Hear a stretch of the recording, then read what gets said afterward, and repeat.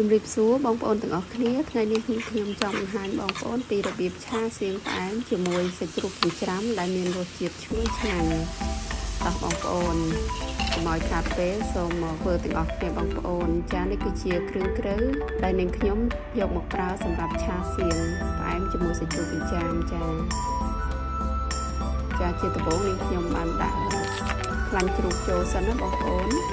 នាងខ្ញុំអត់ប្រើប្រេងឆាទេពីព្រោះ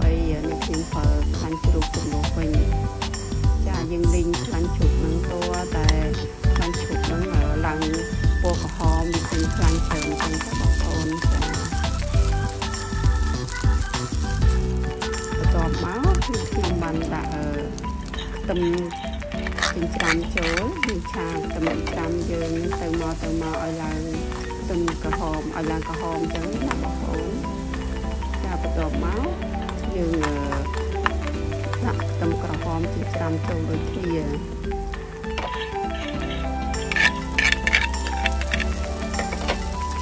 ពីឆាទៅឆាមកឲ្យក្លិនខ្ទឹមអស់ឡើងឈ្ងុយចឹងហើយចាបន្ទាប់មកចំដាក់សាច់ជ្រូកចូលបងប្អូន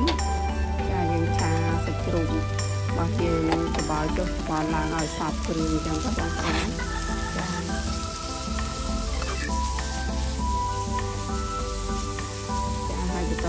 មកខ្ញុំបានដាក់ម្សៅស៊ុបមាន់ចូលប៊ីចេងអំបិលទឹកស៊ីអ៊ីវទឹកប្រេងខ្យង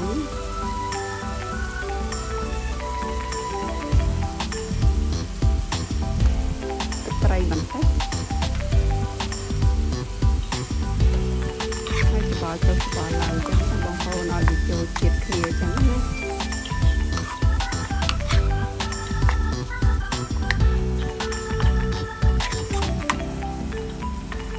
ហើយបន្តមកយើងខ្ញុំបានដាក់ស្ករត្នោតចូលបន្តិចផងដែរ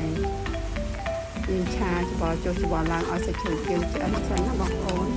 មុនយើងដាក់គ្រឿងផ្សេងផ្សេងទៀតចាហើយចំណុចឆានេះយើងអត់ប្រើគ្រឿងច្រើនទេបងប្អូនព្រោះអីក្នុងសៀវវាមានជាតិផ្អែមហើយនឹងមានជាតិប្រៃហើយប៉ុន្តែយើងមួយគ្រឿងតិចតិចអញ្ចឹងណាបងប្អូនចាហើយឃើញថាជ្រូកនេះខ្ញុំដាក់ខ្ញីចូលខ្ញីនេះខ្ញុំហាន់អត់អត់អញ្ចឹងបងប្អូន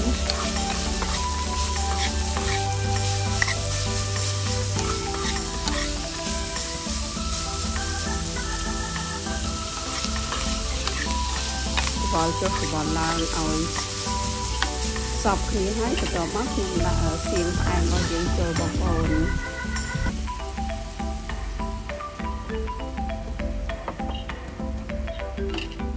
ចាសូមប្រាប់បងប្អូនថាកុំប្រើគ្រឿងដិតដិតពេកបងប្អូនព្រោះនៅក្នុងសៀងនោះមានជាតិប្រៃហើយជាតិផ្អែមហើយមិនគន់ថាយើងលួចគ្រឿងតិចតិចអញ្ចឹងណាបងប្អូនយើងឆាចុះឆាឡើងឲ្យសៀងជាមួយនឹងសាច់ជ្រូកយើងចូលជាតិល្អហើយ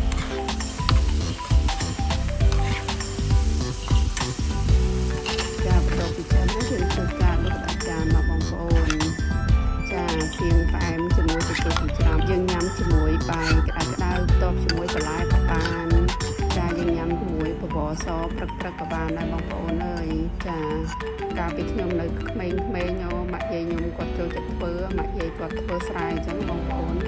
គាត់អឺធ្វើយកទៅហូបនៅស្រែមេឃភ្លៀងលឹមលឹមមកបានបាយក្តៅក្តៅជាមួយសៀងឆ្ងាញ់មែនតើបងប្អូនអើយពីខ្ញុំបញ្ចូលសលេងបដានេះឃ្លានចង់ញ៉ាំម្ដងទៀតបងប្អូនហើយសៀងនេះយើងអាចធ្វើទុកញ៉ាំរយៈពេលបានយូរបងប្អូន បើយើងដាក់ក្រៅទូទឹកកកអាចទុករយៈពេលបានប្រហែលជា2សប្តាហ៍បើយើងមានទូទឹកកកអីដាក់ប្រហែលជាបានមួយខែចឹងណាបងប្អូន